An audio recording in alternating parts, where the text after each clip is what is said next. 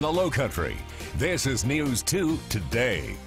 Good Sunday morning. Thanks so much for sticking with us for our second half hour. I'm Olivia Parsons. Good morning, everybody. I'm meteorologist Arielle Hooley. Thank you so much for joining us. The last show of 2019, last weekend morning show. Our last weekend morning show. Boy, has this, this year just flown by, but I can't even believe we're about to approach 2020. I, that is like, I can't believe those words are coming out of my mouth. 2020 the last Sunday show of the year. I can't believe it. And I can't believe how warm it is out there. We are ending 2019 on a very warm and very unsettled note. Taking a live look outside right now, you can see we do have some showers pushing through the Moncks Corner area, upper Charleston County. Those are heading to Georgetown, Kingstree, and Myrtle Beach within the next half hour to an hour or so here.